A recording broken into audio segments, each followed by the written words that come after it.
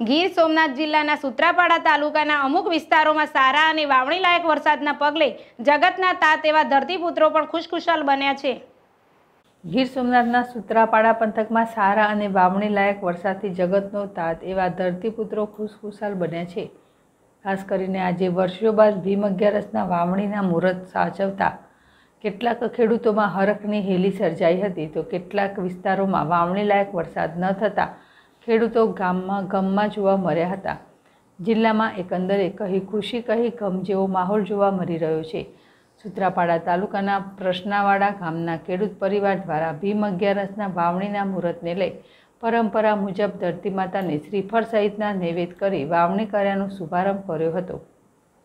એક તરફ વર્ષો બાદ ભીમ અગિયારસનું વાવણીનું મુહૂર્ત સચવાતા ખેડૂતો ખુશખુશાલ તો હતા. સાથે સાથે બિયારણ અને ખાતરના ભાવ સાતમા આસમાને ચઢી જતા થોડા ચિંતિત પણ બન્યા છે. ખેડૂતોના કહેવા મુજબ, વાવણી સમયે બિયારણ અને ખાતરના ભાવો ઊંચા હોય છે અને જ્યારે ઉપજ આવે ત્યારે ભાવ તરીએ ચાલ્યા જાય છે. માટે જેમ કુદરત ખેડૂતો પર રીઝવે છે, તેમ સરકાર પણ ખેડૂતો માટે યોગ્ય ધ્યાન ધ્યાન આપે એવી લાગણી વ્યક્ત કરી રહ્યા છે. શાસ્ત્રો મુજબ, ભીમ અગિયારસની વાવણી શ્રેષ્ઠ ગણાય છે. પાછલા વર્ષોમાં મોટાભાગે ભીમ અગિયારસમાં વરસાદ નહીવત વરસતો હોય છે. જેથી ખેડૂતો આ મુહૂર્ત સાચવી શકતા ન હતા. ત્યારે આજે પવિત્ર દિવસે જિલ્લામાં કેટલાક વિસ્તારોમાં વાવણીનું મુહૂર્ત સચવાયું છે. તો હજુ કેટલાક વિસ્તારોમાં હજુ વાવણી લાયક વરસાદ ન થતાં ખેડૂતોમાં કહી ખુશી કહી ગમ જેવો માહોલ જોવા મળ્યો ઓકે નામ અને પરિચય છે આપનો? જાદવ હરિભાઈ હરાજભાઈ. ગીર સોમનાથ જિલ્લાના સૂત્રાપાડા તાલુકાના ખેડૂત છું. અને અમે ગયા વર્ષે સારા વરસાદને કારણે અમે અહીંયા અત્યારે આગોતરું વાવેતર કરી દીધું છે.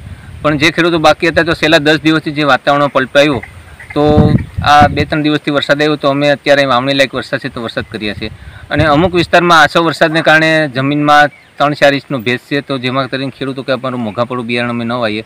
અને જો કુદરત મહેરબાન થાય અને બધામાં સારો વરસાદ થાય તો બધા ખેડૂતો વાવણી કરી શકે. ઓકે નામ અને પરિચય આપનો. મારું નામ છે રમેશભાઈ વરસાંગભાઈ જાદવ. આજે તમે વાવેતર કર્યું છે શું કહેશો?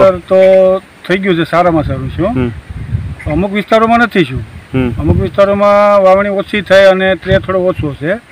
હવે આવો કુદરત થોડોક વધારી દે તો બધી ખોડ- ખેડૂત લોકો બધી વાવણી બહુ આઈકલ કરી અમુક વિસ્તારમાં વરસાદ છે અમુક વિસ્તારમાં નથી. શું કહેશો?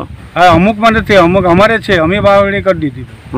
હવે અમુકમાં તો ઓછો છે એટલે વાવણી નથી થઈ. અમુકમાં શું અંદરથી કોરું નીકળે છે કોરું નીકળે છે અંદરથી. અમુક વિસ્તારમાં વાવણી લાયક વરસાદ છે? હા, અમુક વિસ્તારમાં વાવણી લાયક વરસાદ છે. અમારે સારો વરસાદ. અમે વાવણી કરી દીધી.